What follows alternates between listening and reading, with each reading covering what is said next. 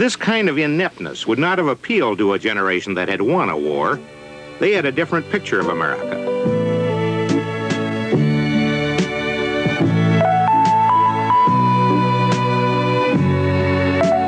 This Jimmy Carter campaign film in 76 tried to reassure a troubled country, saying we were strong and capable. And if there had been a mess with Watergate, Washington, and Vietnam, well, it was nothing that an ordinary, keen-thinking, honest man couldn't clear up with a little help from his friends.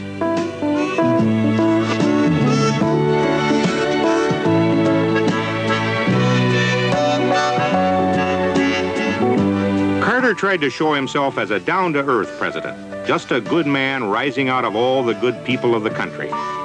Nevertheless, three years after he was elected, Jimmy Carter made a most unusual speech in which he said, in effect, that Woody Allen had gotten it right in the first place. I want to talk to you right now about a fundamental threat to American democracy.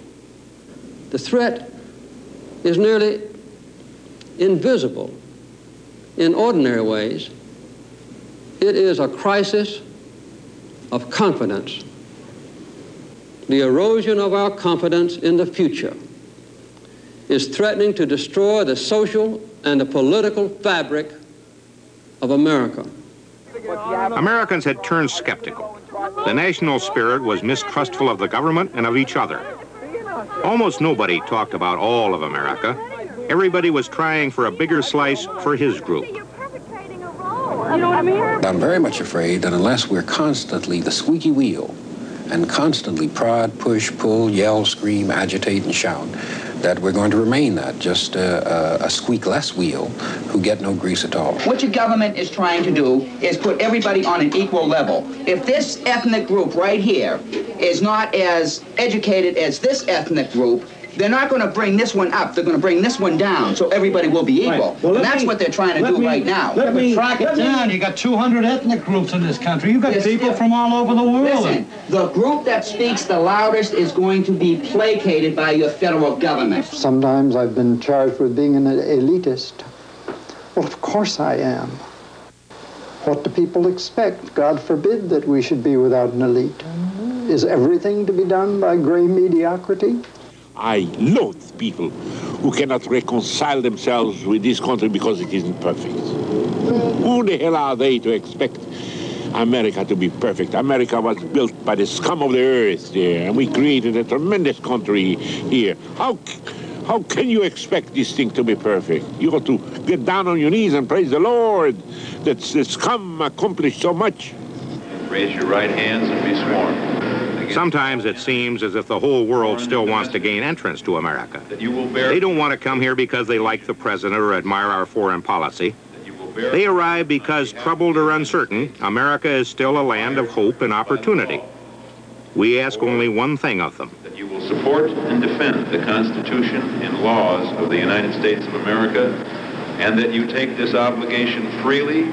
This is the way we renew ourselves, the way the system renews itself. So help you God. I now declare you duly sworn and naturalized citizens of the United States of America. It's not as if we're giving them everything and taking nothing in return. The hundred nations we come from gave us their strength, their folkways.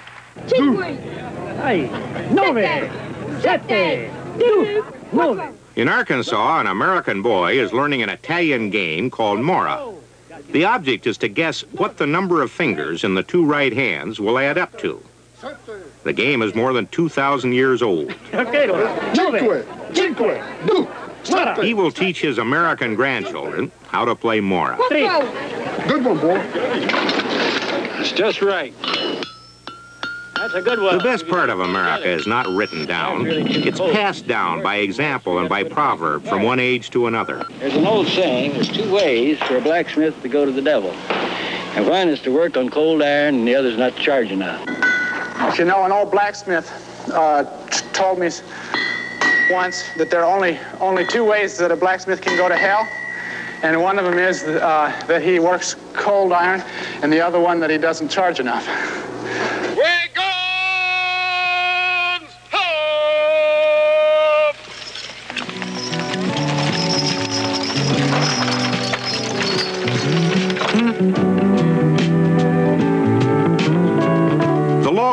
Country must be written down, but the legends must be acted out.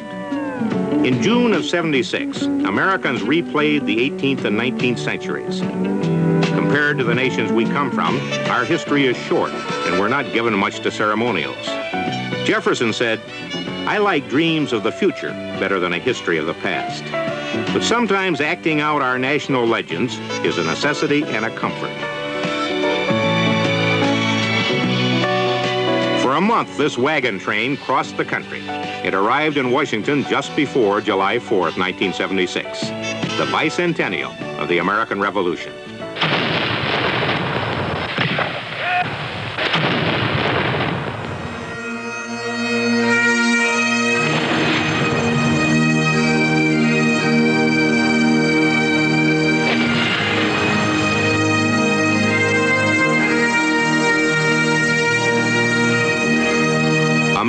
Grace, how sweet the sound that saved a wretch like me.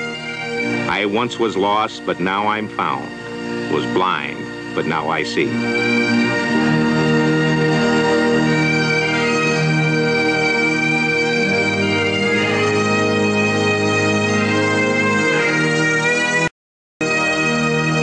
Perhaps our finest hour was one day, July 4th, 1976. We celebrated 200 years of American independence. In spite of our troubles, we had ourselves and nobody else had us.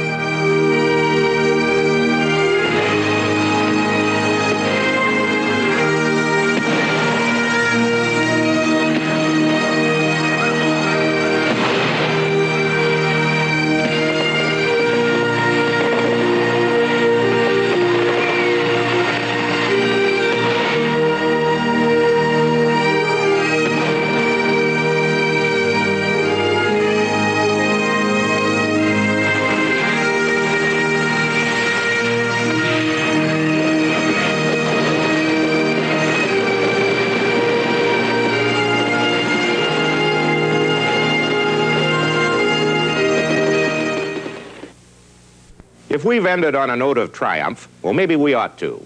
We may be quarrelsome, divided, and in financial and spiritual trouble. But you have to agree that while the system may have gone to the brink, the system worked. Winston Churchill said, democracy is the worst system devised by the wit of man, except for all others. The paradox of democracy is that if you give people freedom to live their private lives fully, you richly add to the public strength. Freedom is like breathing out and breathing in so natural, it's hard to rejoice in it. The fact is that most of us will remember best what happened to us personally in the 70s. And the great affairs of state we've chronicled in these broadcasts may have been just distant thunder. The 70s are over, the 80s begin. Have a good decade. I'm Harry Reasoner. Good night.